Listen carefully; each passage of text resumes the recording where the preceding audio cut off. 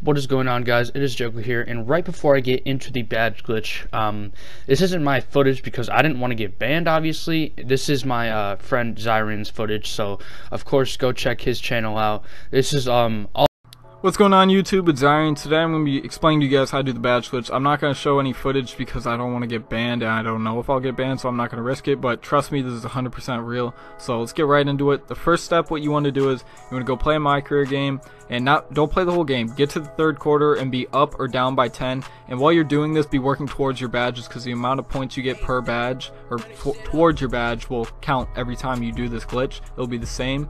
So once you're at that point where you have a 10 point lead or you're down by 10 and at least the third quarter doesn't matter if it's the fourth or not.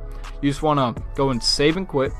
And then what you want to do is go to your applica application data save management and you want to upload those three files your first three my they should be your first three files. It's for your my career player. You want to upload those to the cloud or to a usb drive it doesn't matter which one.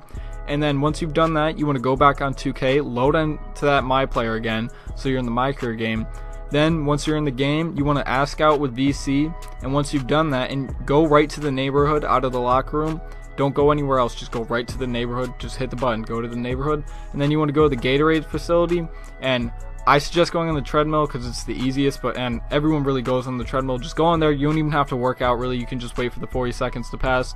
Just go on the treadmill once it's passed and you've got your points towards your you know what I'm saying, the, the boost. I can't think of the word right now. Once you've got your points or whatever, as soon as that screen goes off, close your app and go back in to your application save data management and you want to download those files from your USB or your cloud back to your system storage, then you can go back on 2K and you'll be able to load right back into that Career game and you'll be at the same point as you were before where you have the option to sim out. And what this does is it it may sound a little weird, but it keeps your badge points or your badge XP from the previous time you did it. Like it's not based on oh it goes back or resets. No, you get those points every single time you do this, even though you're glitching it. That's the whole point. It's a glitch, but you basically just redo that every time, and you don't have to redo the whole glitch. So to recap how you do it, step one: play the My Career game, get your points, get the third quarter, and then wait so you can sim out, right? You know, get the 10 point lead or be down by 10. Then you want to save and quit, close app, go upload those files to the cloud or your USB.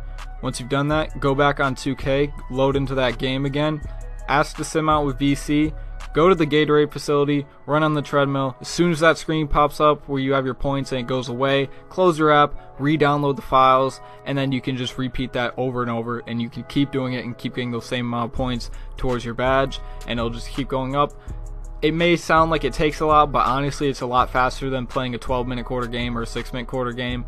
It's it's a lot faster than you think.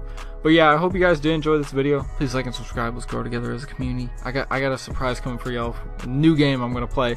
Not I might not stick to that game. I'm probably not gonna. But yeah, that's the video. Hope y'all did enjoy it. Like I said, hit that sub button. I'll see y'all on my next one. I love y'all.